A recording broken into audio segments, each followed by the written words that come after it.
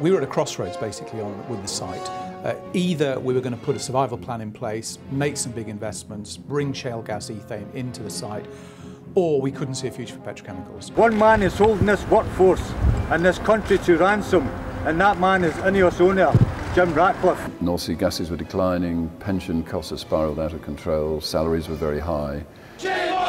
We'd lost hundreds of millions of pounds. At the end of the day, this site either accepted change or we would close down.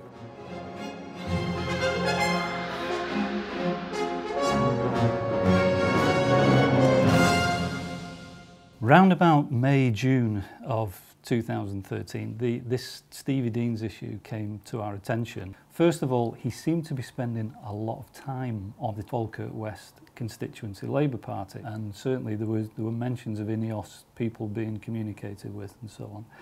And secondly, clearly it was impacting INEOS reputation. We looked into um, all of the activities of Stevie over that period of time. So it became uh, quite an an in-depth search and, and revealed significant uh, amount of, of, of, of information that showed quite clearly that, uh, that he had been um, spending significant amount of times and misusing INEOS systems. I had suspended Stephen Deans in the morning Uh, by the middle of the afternoon, I had a phone call from Len McCluskey. Four points that were really clear for me. One, he would put every resource that the trade union had and beyond uh, to bring this site to a standstill if we didn't reverse the decision. The second point was that he could not be responsible for any wildcat action. The third point was that we had every right to investigate and that he was, if we lifted the suspension, he would step away from any further involvement and that we could carry on with the investigation.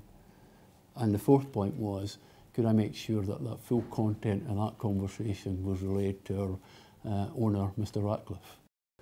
For the head of Unite to ring us up and threaten to shut us down because we treated his union convener in a way that we'd treat any other employee and that he's not, he's, he's not a sacrosanct individual who's not to be touched and can do whatever he wants is, is just outrageous, in my view, in the UK.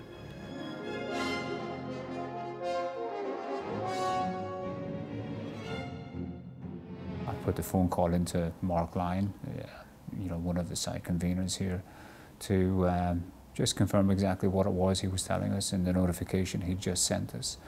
And he repeated to me three times, Declan, this is strike action, this is strike action, this is strike action the union, I, I think, made a very, very uh, heinous error in deciding to take on the Stevie Deans issue as their cause celebre here.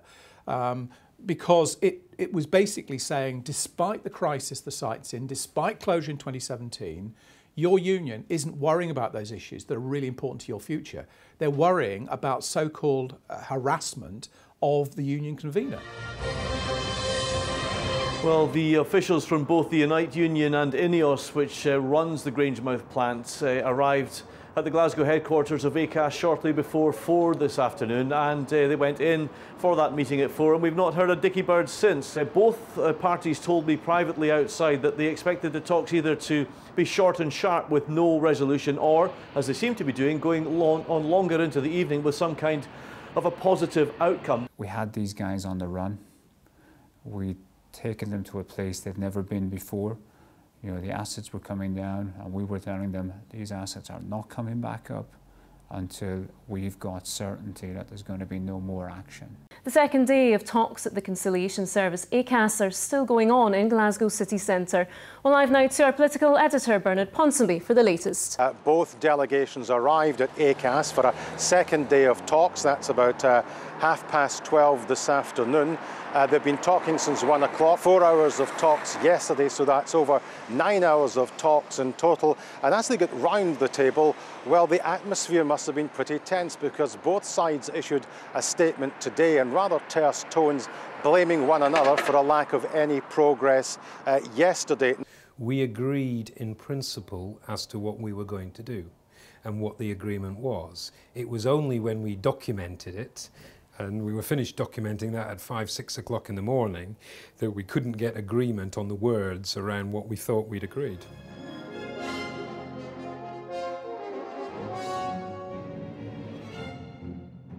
all of a sudden the trade union are sending people to Jim Ratcliffe's properties. They're sending people to our banks and our lenders. They're sending people to our suppliers and customers. Most significantly, locally, they sent a mob to the house of one of our directors. Now, fortunately, his wife and children weren't in, but that's where they were while he was at work. Now, that was a clear step up in strategy from the trade union. I think very unpleasant, um, very unnecessary, and very intimidating for, for the people concerned. The whole thing felt very coordinated. I think we had over 60 different sites all around Europe where we'd had these leaflets distributed. Um, and, you know, it, it, just, when we actually dug and found out that there was a leverage unit within Unite, that this was their job, um, that was pretty nasty stuff. And I think, you know, I think the public perception of that, now that it's been exposed, has played very badly for the union. Throughout the day, the management of Grangemouth Oil Refinery and the Union Unite have traded insults following the collapse of talks at the arbitration service ACAS. The union called off a 48-hour strike planned for the weekend, claiming management were intent on running down the plant. INEOS have now announced the complex will remain closed until Tuesday. Here's STV's political editor, Bernard Ponsonby. Today, workers at the plant were briefed by union officials. At 5 o'clock this morning, they called off a planned 48 hour strike after talks at ACAS broke down. As they decided on their next move, INEOS announced that Grangemouth would remain shut until next Tuesday. We'd made it very clear as we closed the site down that we could not restart that site until we had absolute assurance of no further strike action because stop, start, stop, start was extremely dangerous. So we had failed to secure at ACAS a commitment to no further strike action for the rest of the year. Had we had that, we could have restarted the site. Without that, we didn't have that ability.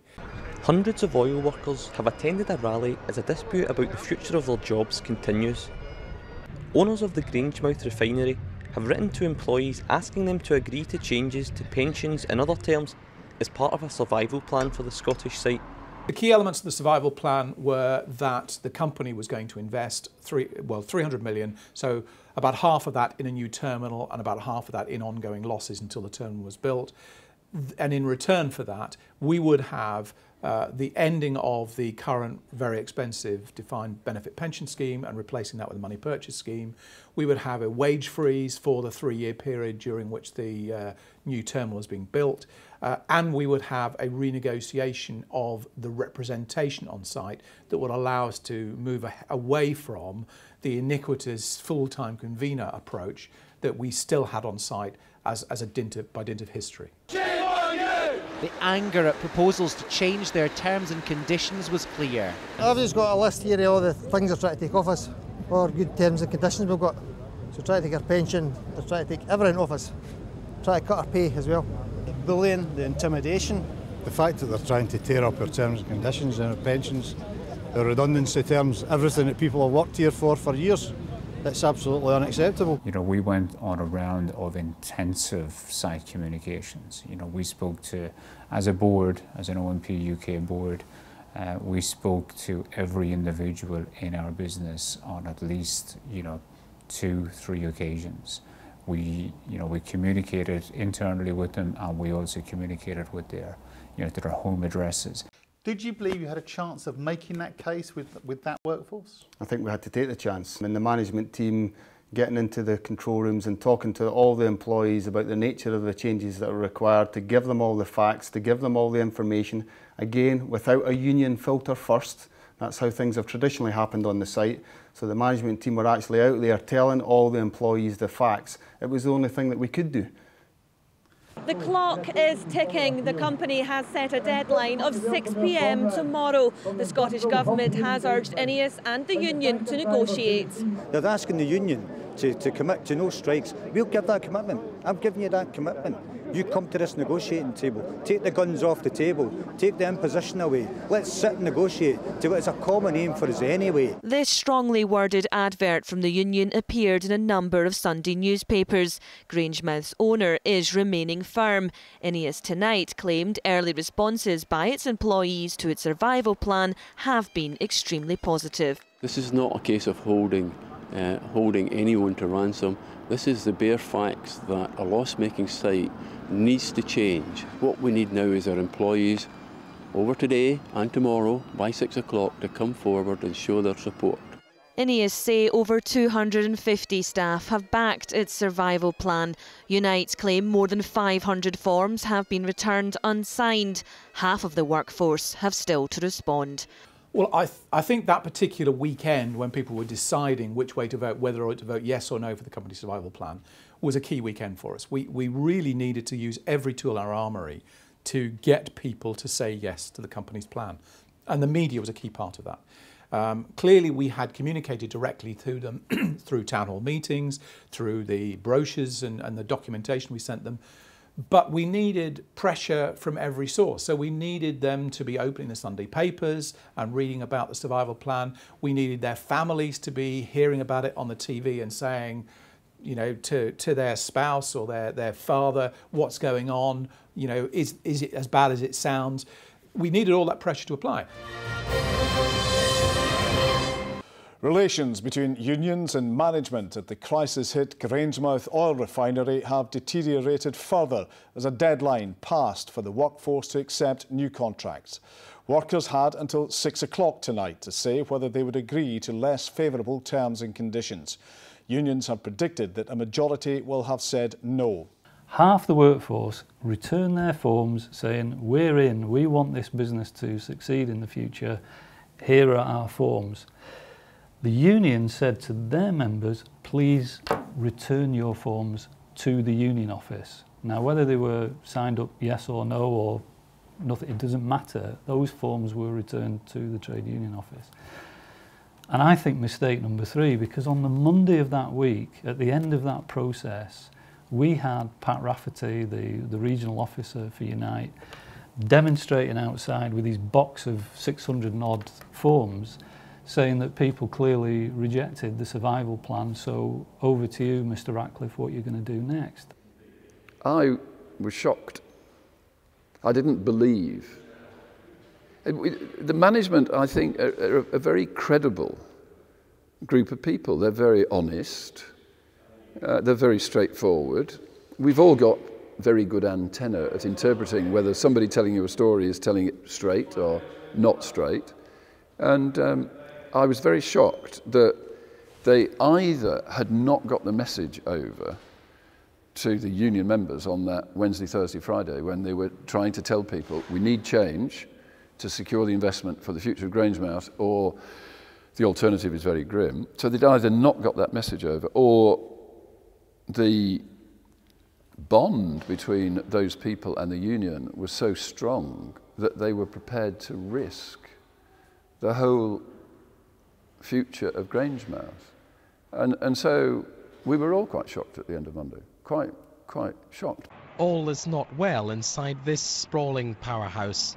Ineos says its Grangemouth plant is losing £10 million a month.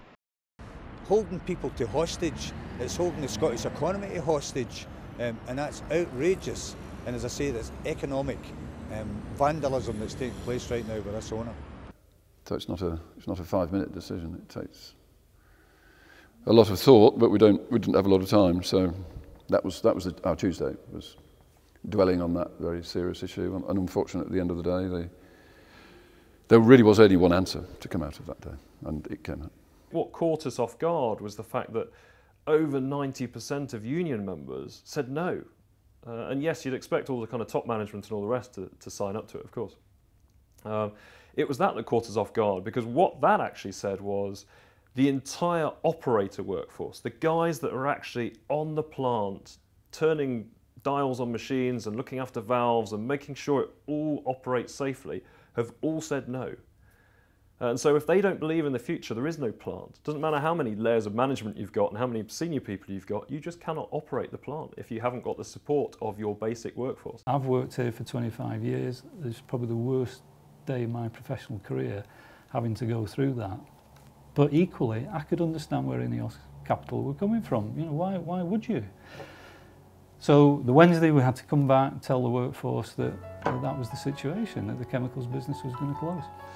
In a hammer blow to the Scottish economy, the owners of the petrochemicals plant at Grangemouth have announced it's to close with the loss of 800 jobs. Worst day of my working career by a, by a long way. You know, I, uh, I don't know how. I didn't. I, didn't know how we were going to do it. Uh, you know, we had the slides, but you know, it, it, wasn't about slides. It was about the message, and you know, to, to be in the room, see the reaction on people's faces, see the emotion, um, see the anger a lot of anger, but uh, it was a horrible, horrible day for Grangemouth. It looms large on Scotland's industrial landscape, and this was a big moment in the history of the Grangemouth refinery as morning broke on decision day. Management had decided on its next step in a dispute with the workforce. Waves of employees attended back to back meetings in the staff canteen to be told it was closure of half the site. I've left after the first 10 minutes, mate. I couldn't keep listening to it. You said that whoever told you the news was smiling. Tell me about that. Callum McLean. One of the boys actually said that he didn't find it funny. He was smiling as he was telling us we were all out of job. What did he say? He said it wasn't about us. I'm, I'm glad to go right. One man left the closure meeting and went up to the television cameras and said that you had smiled uh, as you made that closure announcement. Was that true?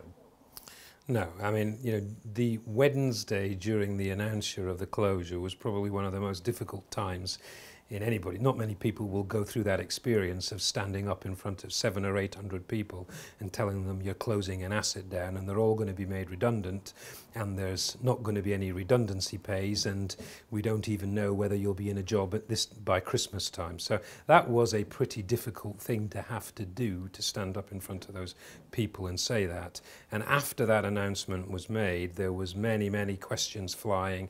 There was lots of uh, shouting in, even in the room itself between unionised and non-unionised people. And some of the questions coming back to me and the management team were pretty aggressive as well. So it was not the environment that uh, anybody would feel like smiling. So, so no is the answer.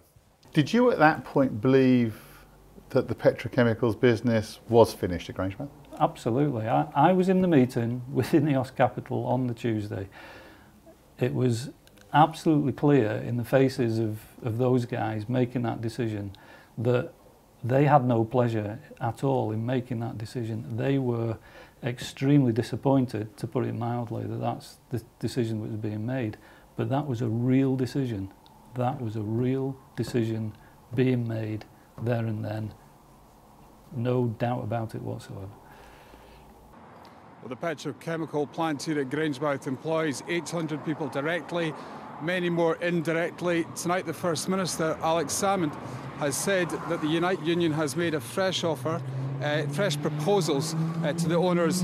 INEOS, he's saying that no one should write this plan off yet. I think a significant development this afternoon is new proposals have been made by Unite to the company now, I hope the company can consider these. I spoke to both Unite and indeed I spoke to Jim Ratcliffe uh, this afternoon.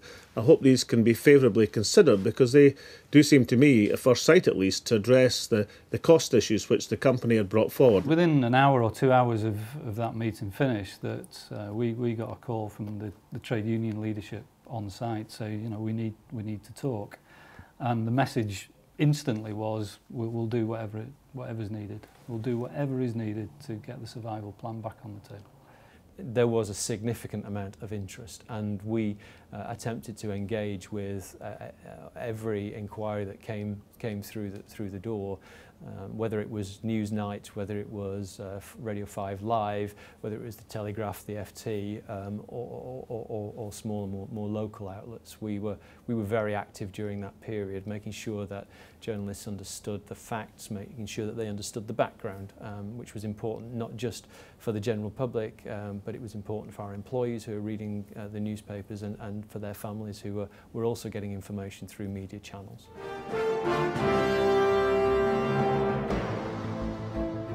Now, Tom Crotty's on the board of INEOS, the company who own the Grangemouth plant. Um, have you heard anything about this proposal from Unite? I haven't as yet, um, and uh, we'll wait and see if that comes through tomorrow. I mean, what, I, what I'm hearing is that uh, if what they're saying is true, it is diametrically opposed to what they were saying only two days ago, which was they totally rejected our survival plan. And that's what basically caused most of the Unite representative people on site to vote against it. I mean, I thought Newsnight particularly would be very, very difficult with, with Paxman. I'd not, I'd not done uh, National Newsnight with Paxman before, so I was slightly nervous about it. Um, as it turned out, uh, I think he was pretty good. Um, he, was, he was, for him, I think, pretty gentle.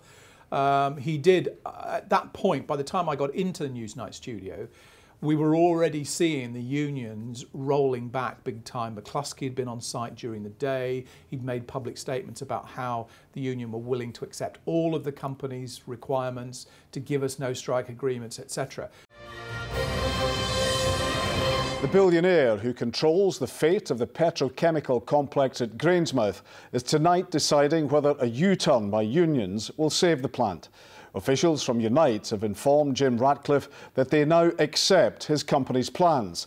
So we had to go back in that 24 hours between the unions effectively stepping down or, or agreeing to the, um, to the uh, survival plan we had to put a package of things together to demonstrate to the shareholders that we not only were going to be able to deliver the change on the site, but that we had this, we still retained the support of the Scottish Government for our grant. We retained the support of the UK government for our loan guarantee.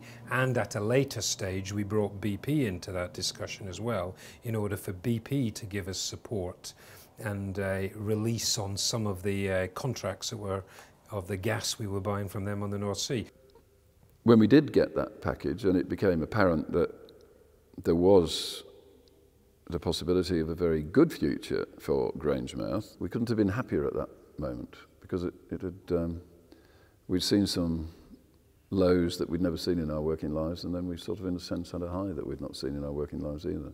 We've been to both ends of the uh, both ends of the spectrum, both bookends. Yeah, yeah dawn in Grangemouth and the day starting with nothing more than a hope. 48 hours on from news that the petrochemical plant here was to close, workers marched to a mass meeting with optimism.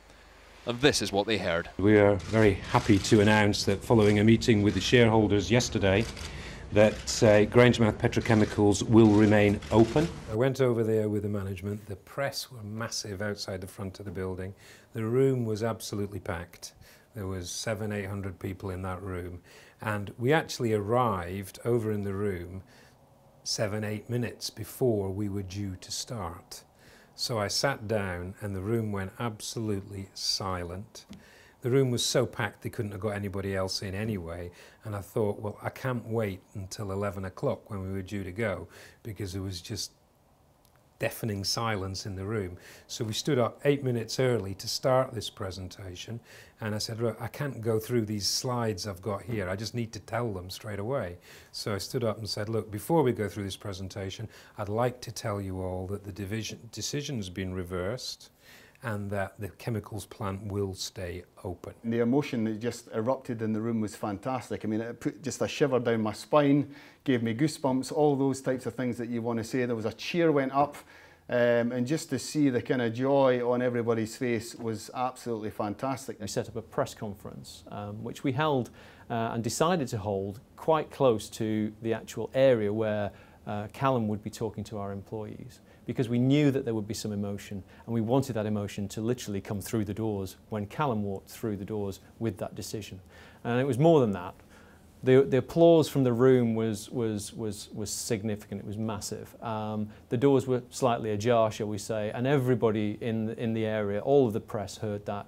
They started to report on the applause, they were reporting on, on it as it happened. So when Callum walked around the corner to announce that the, the plant would be remaining open and there would be investment, um, he, was, he was already facing some very positive questions from the media and a tremendous atmosphere. Euphoria. Everybody's happy, you know. It's a new chance for the site, so you know we've got to go back to work now and get the plant started. So see you all later. Yeah, Santa's back. Good result. Everybody were out there, you know, the media guys were showing me pictures, the, the, the famous pictures of Eddie Heary and others still walking out with a thumbs up. It was great. It was, it was a fantastic morning, a fantastic day. Absolute delight that we, you know, we, we, we, we've done it. We, we had, you know, we changed Grangemouth. We have given Grangemouth a future. So just, just you know, tremendous, tremendous feeling. I see and feel a new atmosphere about, about Grangemouth already. People who are more realistic about how things should be, people who are prepared to read and understand the business messages that we're putting out and the financials. I think people are just more acutely aware now of the business and the business situation, but equally what might be possible with, uh, with shale gas in the future. Yeah, it was a, a roller coaster week, wasn't it? Really, it was nothing. Anybody, nobody could have ever predicted the, the path that this dispute would have taken. Nobody could have predicted that employees would have said no to change and yes to closure. Um, probably no, would have, no, no one would really have predicted that we would have shut that Grangemouth site down. Um, nobody would have predicted that the unions would do a U-turn within a millisecond. I mean, it was. Uh, I mean, you just couldn't have. You couldn't have written. You couldn't have written the story, could you?